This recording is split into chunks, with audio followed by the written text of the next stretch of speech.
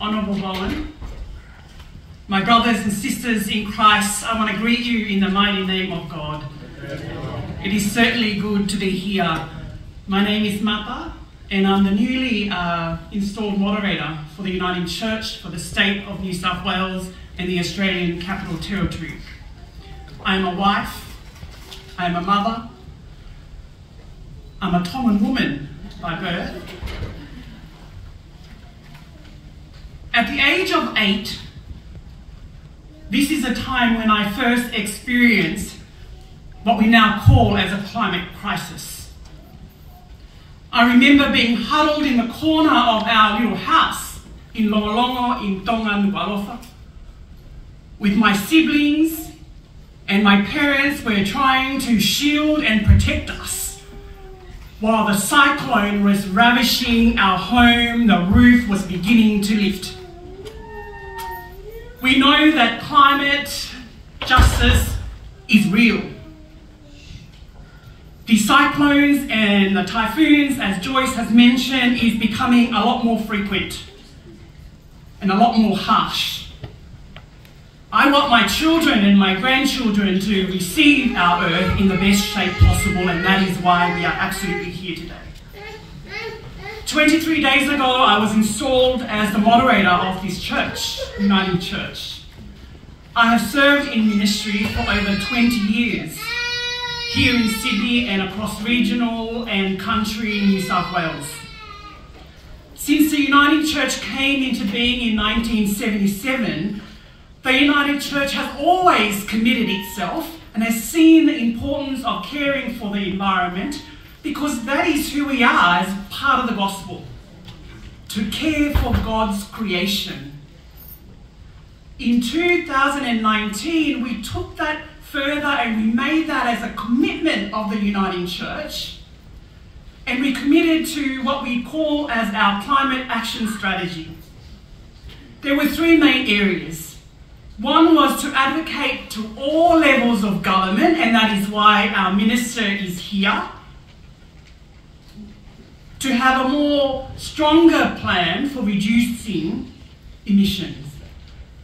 To reduce emissions, secondly, was to reduce emission in all of our church properties, schools, agencies, and to ensure that we were using clean energy at every level of the church. And thirdly, is to support our young people. They've been a part of the school strike marches that has taken place over the past years and part of that is responding to uh, supporting them. So these are some of the action and commitment that we have uh, engaged with the, as a church. And at the heart of all of this action is a conviction that the perspective and voices of Pacifica people and First Nations people need to be heard. Today we will hear the diversity that is among us. We come from different cultures, and we have our own different backgrounds, traditions. We embrace a range of political views, and we live across both city and country areas. Yet we are bound together with a common understanding and a purpose to do what is right for humanity and all people. Friends, our journey to be here began before the federal election and we invited politicians to come and share with us their strategy on climate. Honourable Bowen was there, and he promised that if he was voted into government, he would meet with us to talk about the government's plan, and we are grateful that you are holding on to that commitment and is here today. Minister, today you will see and hear and feel the sacredness of our Pacifica culture through stories, through songs, or even just being together. You will hear our talanoa, testimonies from people of our communities about the impact of climate change, the cost of the living pressures in our society, and the threat of our sacred culture. Talanoa, Mr. Bowen, is a Pacifica word for conversation and for talk. But today we are saying that we want to move from the talking to more action for our climate. So I call on you, all of you here in the room, uh, as leaders, as church, uh, to continue to stand for that. I, as a moderator, have a personal commitment to this uh, area of my role as a leader in the church. So today, Mr. Bowen, I call on you to stand with us and with our First Nations people who are on the front line of the climate crisis. But you also know that we have contributed the least to what we are now impacting, both here in Australia and particularly in our little islands. And so I call on you, Mr. Bowen, to accelerate the transition to renewable future and to ensure that the transition happens equi with equity, fairness and social justice at its heart. Mr. Bowen, this is my last call for today, but it's certainly not going to be my last call in my term as a moderator because I'm going to just going to keep calling you time and time again. Today, I call you to listen to the cry of the earth, to listen to the voices and the talanoa of our Pacifica people and our community. Learn from us. Be with us. Give us a seat at the table, maybe. to live in a more harmonious, sustainable way for the betterment of God's creation.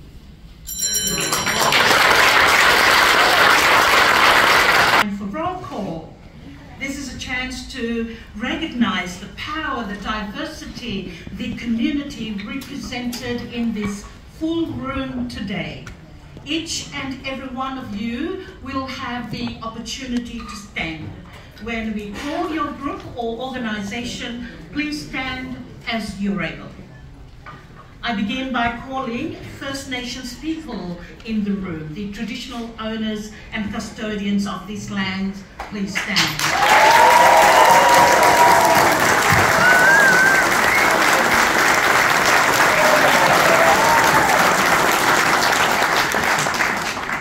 And now I'm going to call on people um, the following, following people from the Pacifica nations to please stand. Those from the Samoan community.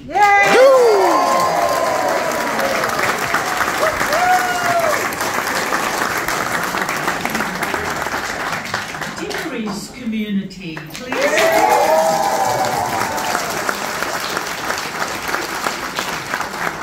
Rotuman community, please stand.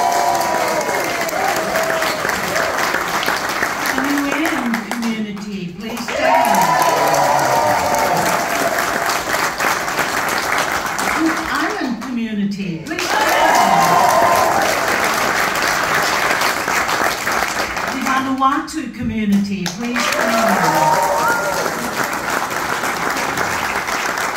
Tuvalu community, please. Tuvalu The Bougainville community, please stand. The Maori community, please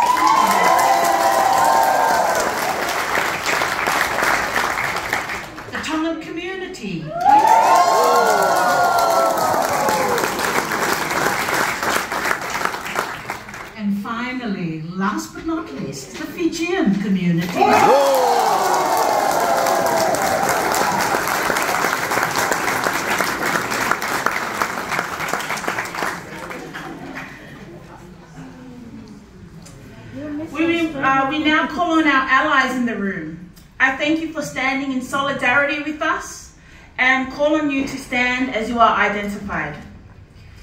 Those here representing the Uniting Church, its congregations and agencies, please stand.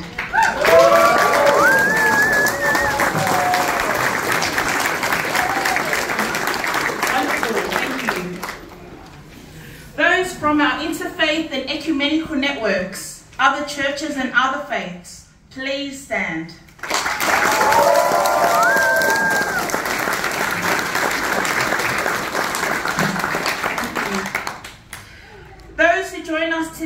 representing more than uh, the more than 30 organizations, communities, and climate groups, unions who are passionately and tirelessly campaigning for climate justice. Please stand.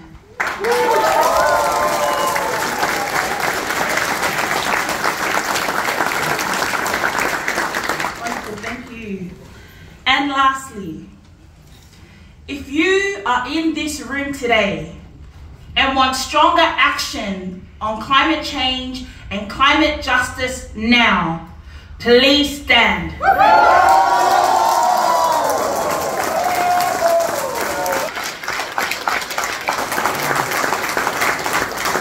Thank you so much. Before we move on, I'd like to mention Raul. Please stand. He will be our timekeeper today and will keep ringing the bell we need to move on. Thank you. Now, it is my pleasure to introduce Natasha Holmes and the talented musicians of Uniting Creative.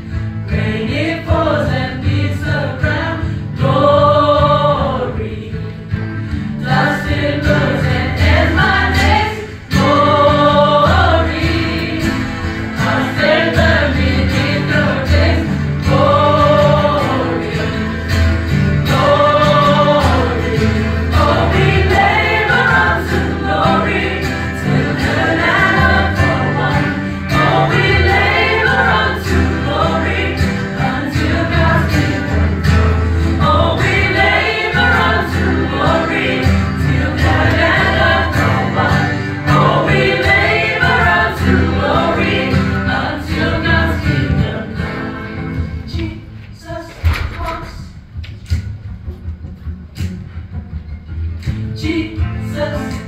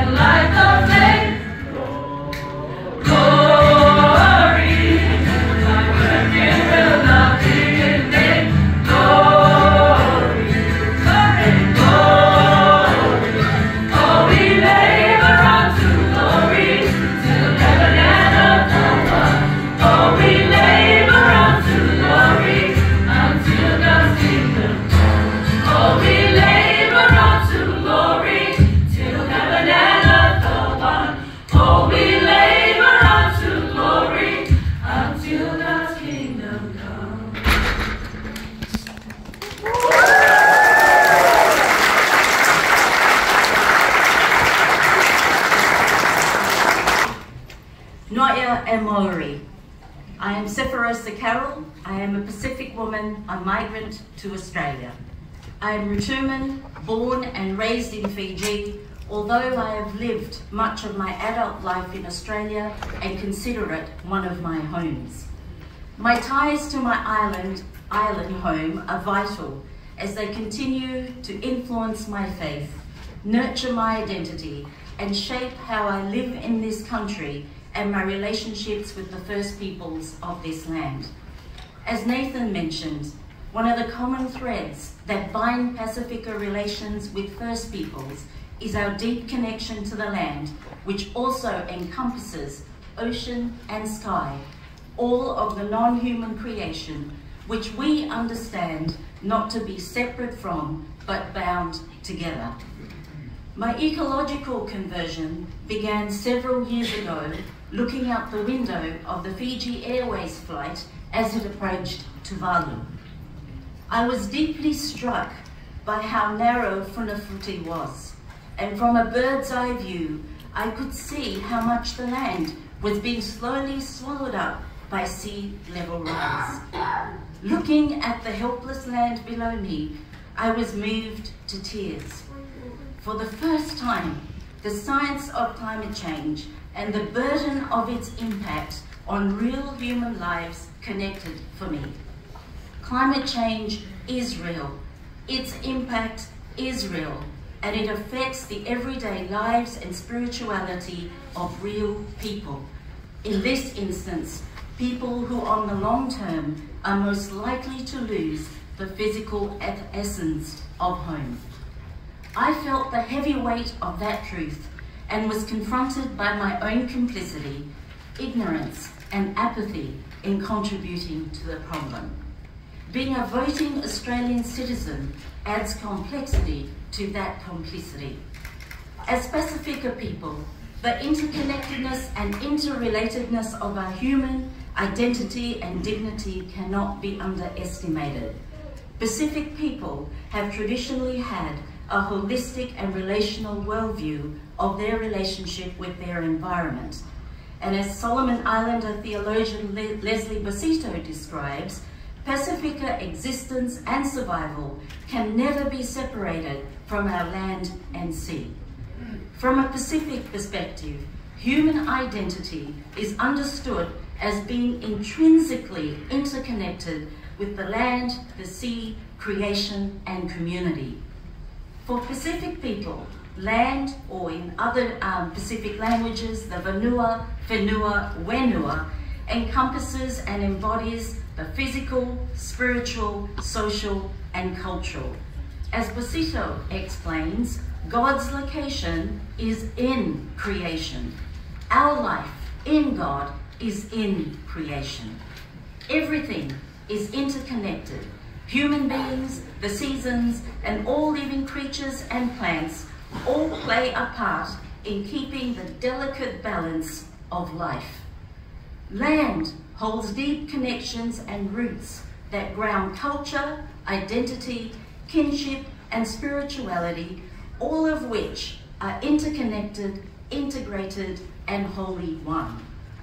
Pacific spirituality embodies a profound respect for creation as an interconnected, interrelated web of life, living as a caring and resilient community and valuing well-being above profit. Wholeness, oneness, and unity of all things, human and non-human, is held together by a spirituality of relationality. Indigenous cultures understand this simple and deep truth that we are all part of the ecosystem which is the web of life. Creation is not other or commodity or means to profits. But if creation, as First Peoples of Canada believe, is thought of as our kin, our family, then that being so, we ought to be responsibly caring for creation as we do our family and friends with respect, love, compassion, and fierce protection.